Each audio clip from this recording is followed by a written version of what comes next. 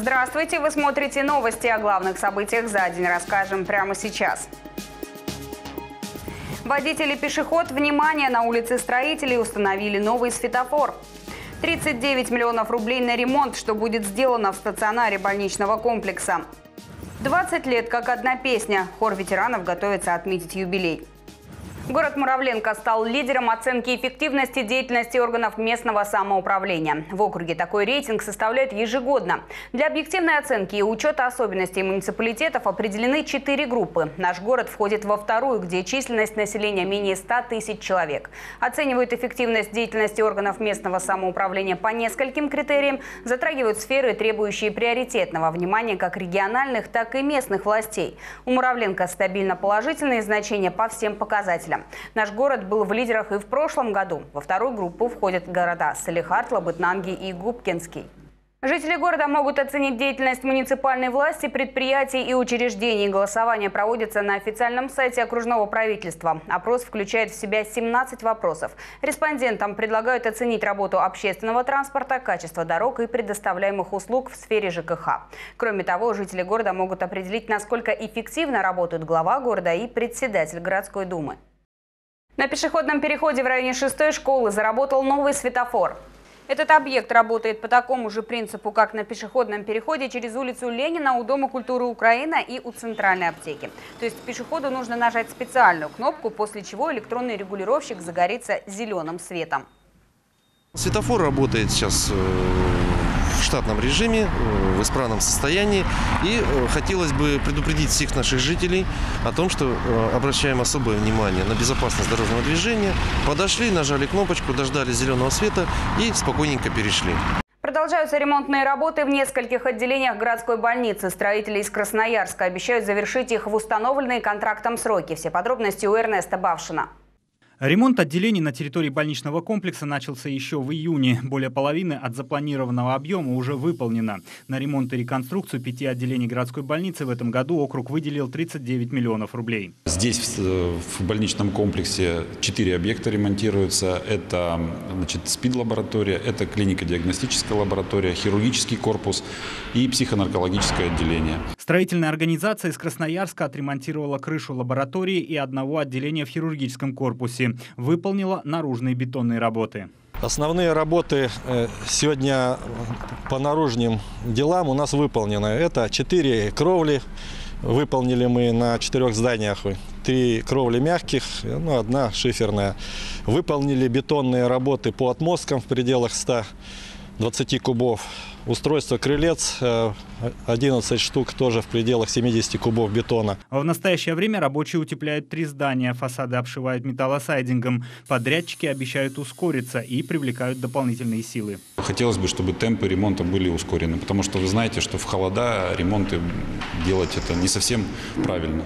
Вновь прибывшие накануне рабочие уже занялись заменой окон и дверей в хирургическом корпусе. Там установят более 50 новых стеклопакетов и более 100 дверей. Должны успеть. Вчера у нас заехали дверники, так сказать, кто ставит двери. И, значит, окна мы уже ставим. Значит, у нас сегодня работает 15 э, человек.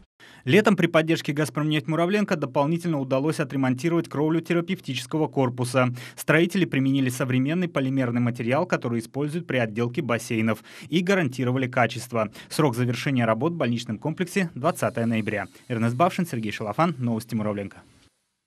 На Ямале в день 85-летия гражданской обороны России началась учебная тренировка. Она продлится в течение трех дней. В четверг в Муравленко запланировано несколько мероприятий. Особое внимание уделяют оповещению и сбору руководящего состава федеральных и региональных органов исполнительной власти, а также органов местного самоуправления. В парке состоится выставка пожарно-спасательной техники, а в Центре спорта Муравленко организует пункт временного размещения граждан.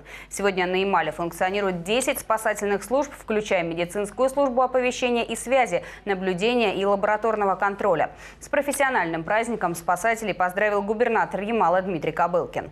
Сегодня гражданская оборона успешно решает задачу предупреждения ликвидации последствий ЧС, пожаров и катастроф. Работает слаженно и эффективно, обеспечивая безопасность общества и государства, в том числе и на арктических рубежах. Благодарю за службу, ответственность и профессионализм и желаю вам мира, добра и благополучия.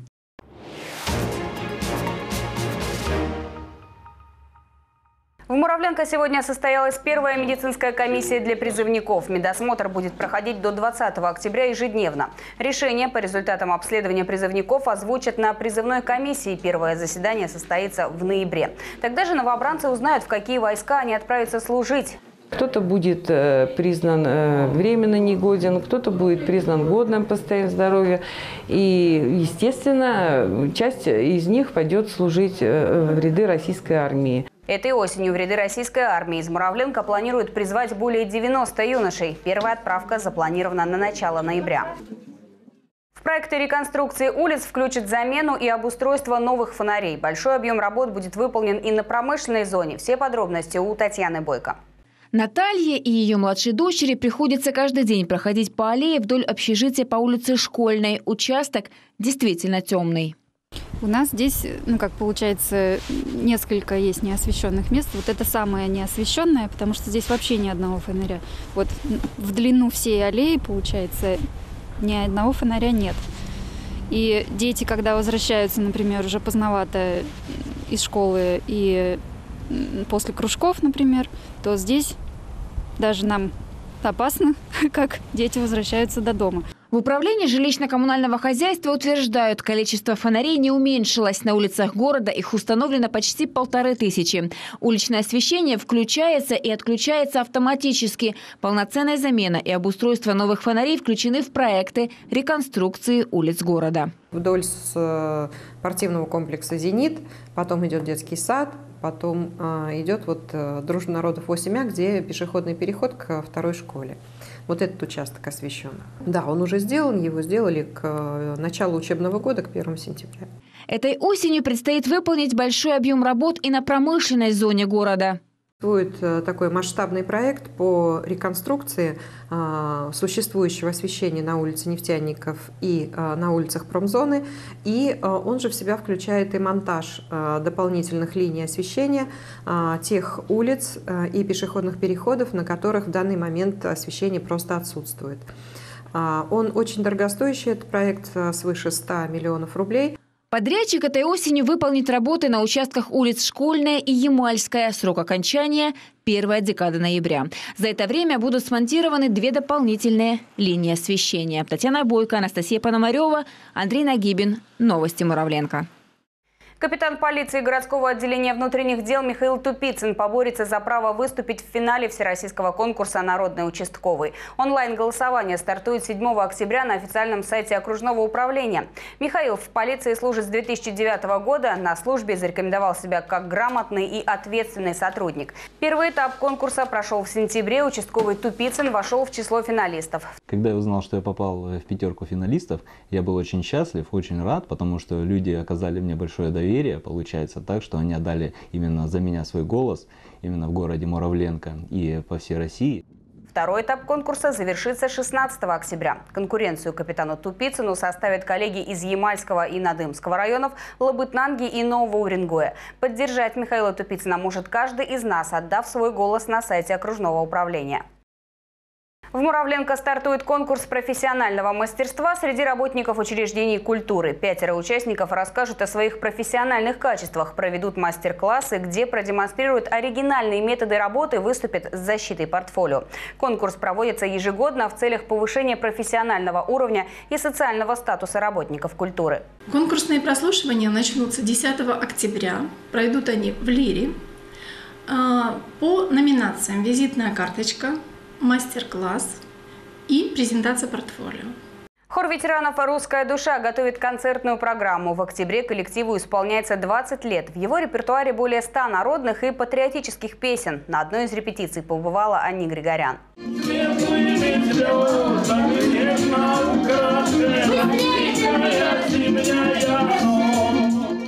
Это только на репетиции они могут позволить себе сделать маленькие ошибки. На сцене все серьезно. Хор ветеранов «Русская душа» поет уже 20 лет. Каждое выступление для них – огромный труд. Очень хорошая сплоченность. Очень хорошая, поэтому вот мы стараемся, по крайней мере, я стараюсь их объединять, чтобы не было такого там каждый отдельно сам по себе. Стараюсь их сплотить. Поэтому у нас вот как-то вот так вот заведено, что все вместе. В составе хора ветеранов 22 человека. Самым молодым – 40, самым старшим – по 80 лет. Для многих из них хор – это эликсир здоровья и хорошего настроения. Все время за эти 20 лет везло и преподавателям, и с коллективом. Очень хорошие девочки, все, все хорошие девочки у нас. Дружные, дружный коллектив. И, как сказать, на репетицию идем с большой охотой. Песня для нас много. Во-первых, это общение. Во-вторых, это здоровье. В-третьих, это подтяжка себя, что я знаю, что мне нужно выглядеть так, как чтобы э, я смотрелась. В репертуаре русские, украинские, чувашские и татарские народные песни. Поют о родине, о войне, о родном крае. Коллектив не раз становился дипломантом и лауреатом различных фестивалей и конкурсов. Планы наши в дальнейшем дальше заниматься, дальше изучать, учить новые песни, чтобы выходить на большую сцену и петь, и получать э, э, от песни удовольствие, радоваться, положительный заряд. Русская душа для многих горожан стал символом духовной молодости и бесконечного оптимизма. Каждый выход на сцену делает участников хора еще задорнее и моложе.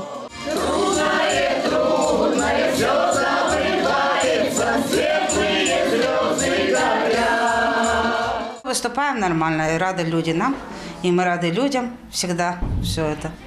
Очень нравится. Люди преданные, влюбленные в песни. Вот что является основой долголетия коллектива. 20-летие хор ветеранов отметят в конце октября. Юбилей артисты встретят на сцене родного дома культуры «Украина». Ани Григорян, Владислав Дроботов. Новости Муравленко. Пока на этом все. О развитии событий в наших следующих выпусках.